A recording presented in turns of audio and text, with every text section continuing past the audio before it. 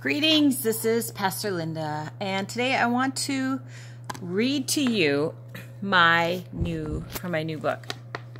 It's called The Woman in the Mirror, and subtitle is Three Dimensional Self Image for Women Discover How to Love the Real You. We're going to be talking about that today.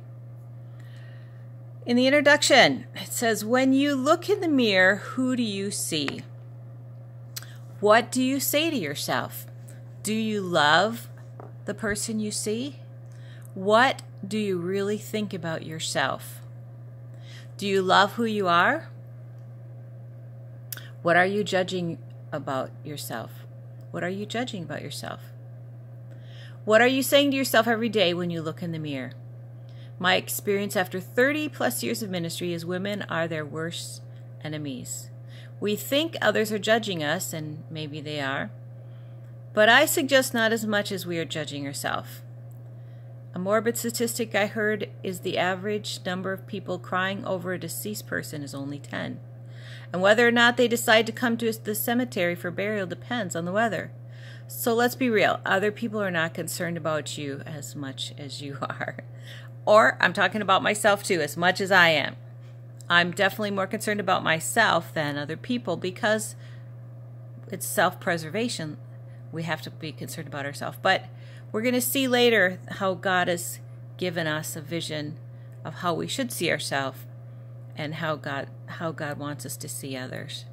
So we have a dose of reality. Now, if you're still reading, I believe that you are open to receiving some truths that will encourage and change your life forever. So, a ray of sunshine is you are loved far more by God than any human being. We all suffer from a degree of self hate. Our past failures, sins, generational sins have all impacted our mind and ultimately our lives.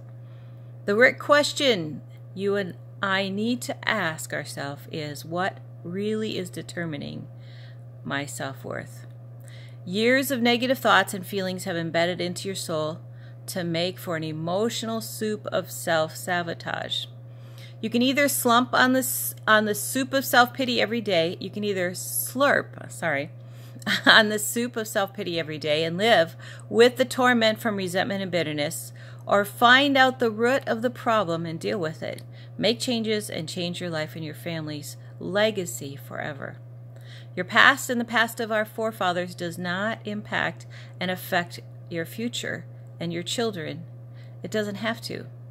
It af- it doesn't have to affect their lives either in a in a negative way anymore, but rather in a positive way. What hope do you and I have for a good future? How can you learn to love yourself and to live to the fullest? This ebook is designed, and I'm making a regular book out of it too, is designed and dedicated to digging in down deep down into the root, taking a look at them and digging those things that need to be dug up, getting rid of them forever. Can be painful, but I guarantee it's worth it and it if you apply these principles. So are you ready to dig in? Each chapter has an action step, ray of sunshine, and a link to my thought of the day video. The step number one example is to pray this prayer God, I'm in need of help. I can't do it on my own. I've made a mess of my life. Please teach me and show me your ways. Amen. So that's the first introduction to my book.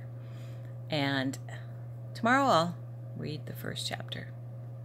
All right, so um, that is my thought for the day.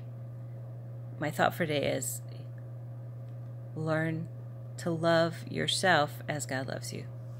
God bless. And have an awesome day. This is Pastor Linda with lindacross.com and cfclakeville.com. And have a blessed day. Amen.